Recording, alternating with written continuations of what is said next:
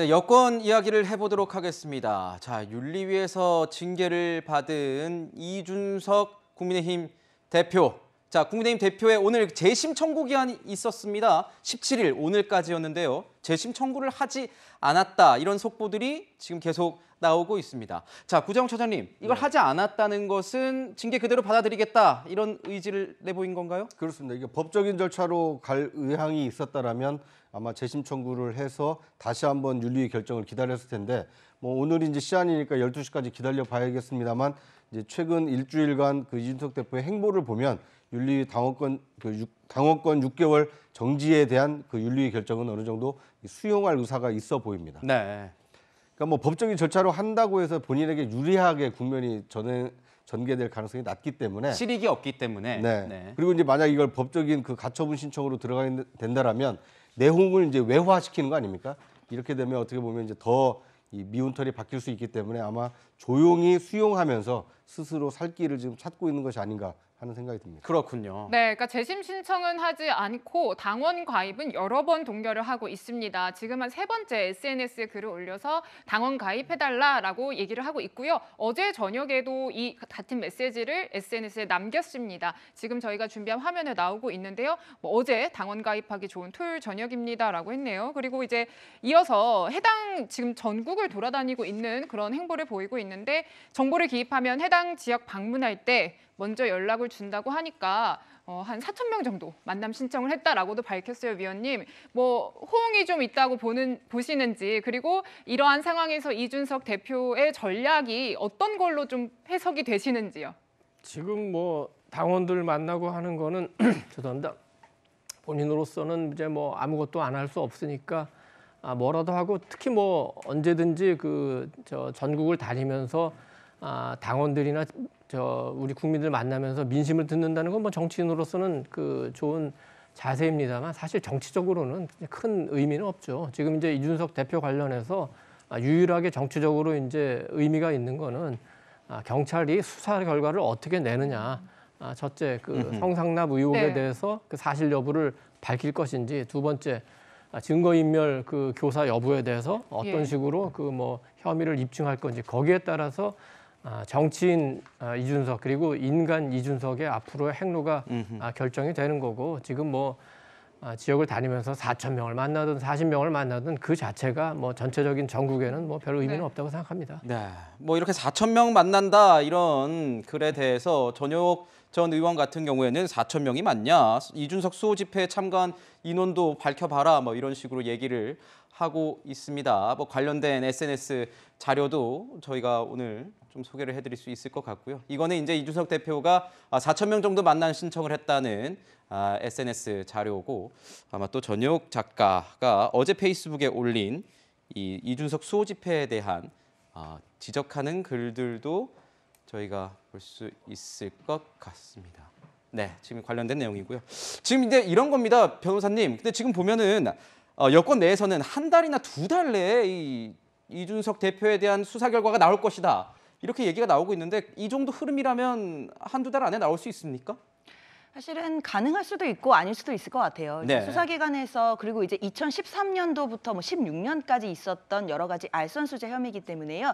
어, 많이 과거에 예- 일, 이- 일이긴 합니다. 그렇기 때문에 경찰에서도 그 관련된 사, 뭐 자료들을 확인하고 증거를 확보하고 하는 부분에서 아마 수사력을 집중하고 있겠지만 수사가 간단하지는 않을 것 같아요. 왜냐하면 이준석 대표는 전면 부인하고 있을 것이고 네. 그다음에 성상납 의혹, 즉 성상납을 했다라고 주장하는 측에서는 강력하게 했다는 정황들을 얘기하고 있기 때문에 그 부분들을 잘 맞춰봐야 될 텐데요.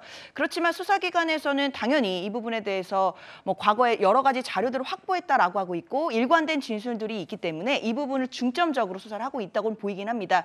뭐 일각에서는 한두 달 아니면 나온다라는 말도 있지만 네. 사실 이런 수사는 더 길어질 수도 있는 것이거든요. 그래서 아하, 일각에서는 또그 당원권이 정지된 6개월 내에 수사 결과가 나오지 않을 가능성도 있다라는 얘기들도 있습니다. 그렇군요. 또는 6개월 내에 수사 결과가 나와서 혹시라도 기소 의견으로 송치가 된다고 한다면 이제는 더 얘기가 길어지게 되는 것이거든요. 말 그대로 기소가 된다면 형사 재판에 넘어가는 것이고 그렇죠. 그 재판이 확정 될 때까지는 이제 뭐 1년이 걸릴지 2년이 걸릴지 알 수 없습니다. 그렇다고 보면 이거 완전히 장기 국면으로 빠져들게 될 것이기 때문에요. 이준석 대표로는 그 6개월 안에 그 수사 결과가 불송치 의견으로 나와줘야 본인이 어떻게 뭐 정치적으로 살아날 가능성이 있다고 볼 수 있을 것 같습니다. 네. 지금 이 수사 결과에 대해서 정치권 그리고 국민의힘 이목도 굉장히 주목이 돼 있을 겁니다. 이준석 대표의 수사 그리고 징계 관련해서 국민의힘 초선 의원 몇몇이 대화를 했던 게 뒤늦게 공개된 것이 있거든요. 일단 목소리 들어보시고요. 이야기를 이어가도록 하겠습니다.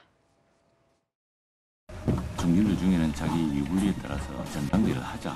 당헌 당규에 따라 살 경우는 어떻게 해요? 아, 그냥 그 직무대행으로 가는 거예요. 중부대 가는 거. 그 사이에 기소가 되면 진짜를 다시 해야죠. 수사 결과에서 성상납 있었다 인정되면 어쩔 거야. 여기 공소시 남아 있어요. 그건 중요한 게 아니라니까. 아니다. 그걸 다 거짓말했잖아. 나안 했다고. 그렇지. 네, 그러니까 마이크가 켜진지 모르고 이제 대화를 하다가 이게 뒤늦게 공개가 된 측면이 있는데요. 사실 이 내용을 토대로 저희가 생각을 해봤을 때, 그러니까 당원권 정지 상태 이 대표에게 이 수사 결과에 따라서 추가 징계를 할 수도 있다는 관측까지도 나왔어요, 소장님. 그러니까 어떻게 하든 이준석 대표의 어, 정계 복귀는 막겠다라는 것이 지금 나와 있는 초선 의원들 네. 또 다른 어떤 의원들도 저는 포함이 된다라고 생각을 하거든요. 그런데 지금 자당의 그래도 우리가 선출직으로 어, 당원과 국민들에 의해서 뽑힌 대표를 저런 식으로 몇 명이 일종의 이제 징계를 떠나서 뭐 기소까지 나오면은 어, 또 다시 징계하겠다 뭐 이런 얘기를 한다는 거는 굉장히 계획적으로 지금 접근하고 있다는 거를 보여주고 있는 계획적이요? 거거든요. 그런 건 정치적으로 오히려 어, 이 동정심을 좀 어, 이준석 대표에게 어, 좀 모아주고 있는 그런 측면도 있다는 것이죠. 그래서 네. 지금 제일 어, 중요한 것은 사실은 법적으로 어떠한 결과가 나오느냐는 것 같아요. 어, 지금 이준석 대표가 어, 받고 있는 혐의라는 것 자체는 굉장히 어, 불미스러운 내용입니다. 이거는 국민적 동의 받기 어려운 그런 측면이기 때문에 이게 장기화되면 될수록 국민들은 굉장히 불편해요. 그러니까 어, 국민의힘도 그렇고 정부도 그렇고 네. 지금 이걸 담당하는 수사기관도 그렇고 빨리 이거를 결정을 해서 결과를 보여줘서 이 문제에서 일단락을 내는 것이 사실은 여당 집권당으로서의 어떤 모습이다 이렇게 봅니다. 근데 지금 보면은 뭐 윤리뿐만 아니라 이 몇몇 의원들의 어떤 분위기만 봐도 경찰 수사 결과 이 기소가 확실할 것 같다 뭐 이런 얘기가 지금 나오고 있는 건데 근데 위원님 일각에서 지금 보면은 이준석 대표가 이런 시나리오도 있을 수 있다. 혹시 무죄가 나오게 되는 경우에는 또 다시 한번 뭐 어, 뭐 6개월 뒤에 다시 나와서 당을 하던가 아니면 그 사이에 전당대회가 생겼을 때 그 무죄 나온 걸 어, 뒷받침으로 해서 다시 한번 전당대회 도전할 수 있다. 뭐 이런 시- 여러 가지 시나리오가 나오던데 어떻게 보십니까? 뭐 그런 시나리오도 뭐 배제는 할 수 없겠죠. 이제 우선 아까 그 의원들이 이렇게 얘기하는 걸 보면 이렇게 뉴스는 많이 됐습니다만 얘기 들어보면은 새로운 사실은 하나도 없어요. 네. 오히려 저 의원들 그리고 윤리위원까지 낀 의원들이 얘기하는데 아는 게 기자들보다 더 아는 게 없구나 하는 사실을 오히려 알 수 있게 됐고 다만 이제 의미를 부여하자면은 향후 정치 일정과 관련해서는 의원들이 조금 생각하는 게 있는 것 같다. 무슨 얘기냐면 첫째 이준석 대표가 우리 김앵커가 얘기한 대로 무죄가 나오면 뭐 좋겠습니다만 그렇지 않고 기소가 되면은 네. 당원 당규의 그 성비위로 기소되면 무조건 당원권 정지입니다. 네. 현재 6개월이지만 대법원 판결 날 때까지 당원권 정지이기 때문에 이거는 다시 전당대회 하지 않을 수가 없어요. 네. 사고 사, 대표 사고가 아니라 대표 거리 상황이 옵니다. 두 번째 우리 장 변호사님이 잠깐 이제 그 불송치 얘기했는데 수사를 해보니까 기소할 만하지는 않아서 경찰이 이제 검찰에 불송치하겠습니다 하고 네. 이제 보고를 하는데 부- 그래 그럴 경우에도 그 불송치 이유서라는 걸 내게 되는데 불송치 이유서에 성상납 관련된 의혹이 대단히 짙긴 한데 이게 2013년 일이라서 공소시효가 지났기 때문에 굳이 우리가 더 수사를 안 하겠습니다 이렇게 발표할 수가 있어요. 그렇다면은 그 이유서를 바라본 모든 당원들이 아니 그러면 이준석 대표 이 성상납 했다는 의혹이 굉장히 짙은 거 아니야?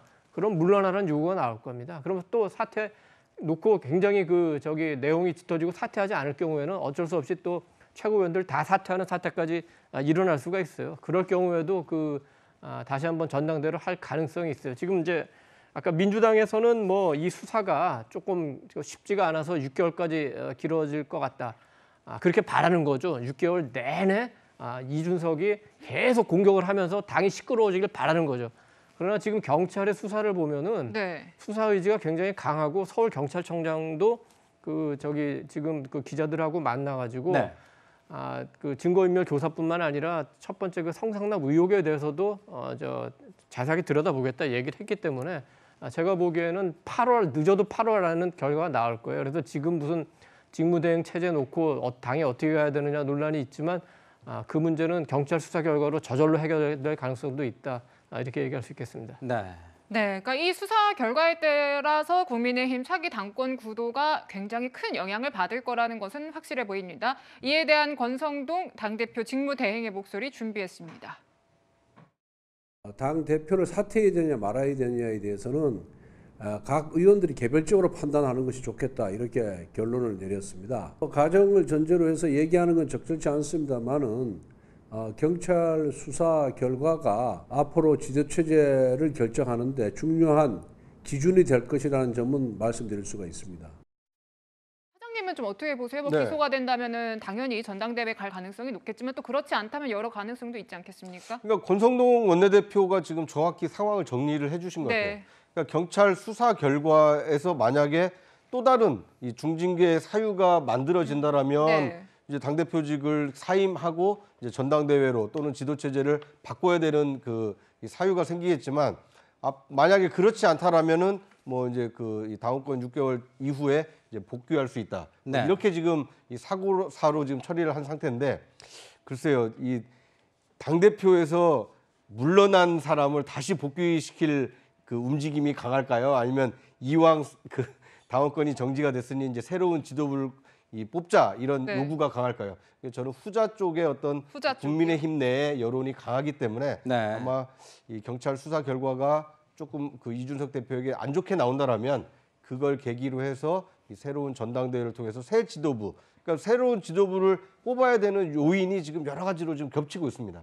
왜냐하면 지금 윤석열 대통령의 국정 지지율 동력이 하락하고 있는 것도 면모를 좀 일신해야 되거든요. 그러니까 이범 여권이 원팀으로서 새롭게 국민에게 어떤 지도부의 모습을 보일 필요성도 있기 때문에 이준석 대표의 어떤 경찰 수사가 중요한 변수가 되겠습니다만 이준석 대표에게는 상당히 좀 어려운 상황이 계속 그 이어지고 있는 것 아닌가 하는 생각이 듭니다. 네, 이준석 대표의 이 수사 결과에 따라서 뭐 개인의 어떤 정치적 운명뿐만 아니라 이 여권의 차기 당권 구도도 어, 어떻게든 영향을 받게 되고 있는 상황입니다. 자, 이런 상황에서요. 다음 포스트 이준석은 누가 될 것이냐 이런 얘기들, 예측들, 관측들 많이 나오고 있는데 윤핵관이 힘을 더 쓰지 않겠느냐 이런 예상들이 조심스럽게 나오고 있습니다. 하지만 이 윤핵관 분화되는 것 아니냐라는 추측도 관측도 있었지요. 그래서인지 권성동 원내대표와 장재원 의원이 이 불화설을 막기 위해서 오찬을 했다고 합니다. 오찬 장면으로 가보시죠. 불화설에 관련해서 얘기 나눈 적이 없어요. 불화 갈등 없다고 어떻게 얘기했잖아요. 평상시와 같이 만나서 대화하고 농담하고 옛날 얘기도 하고 뭐 그렇게 대화를 나눴습니다. 이준석 대표가 장민희도 이준석 대표 얘기는 안 했어요. 지금 보면 이준석 대표 얘기가 가- 제일 중요한 얘기인데 이준석 대표 얘기 안 했다. 그리고 다른 얘기 안 하고 농담하고 좀 했다. 옛날 얘기 했다. 소장님, 네. 이거 불화설 일식된 거 맞습니까? 아니요. 두 분이 아주 공통적으로 한 번 동생은 뭐 영원한 동생, 한번 형님은 영원한 정치권에서 이렇게 형 동생 하면서 영원히 간 사례가 거의 없습니다. 저 싸운 거 많이 봤습니다. 예, 네. 그래서 실질적으로는 그만큼 관계가 어려우니 그렇게 이제 포장을 하려고 노력하는 거 아닌가라는 생각이 들고요.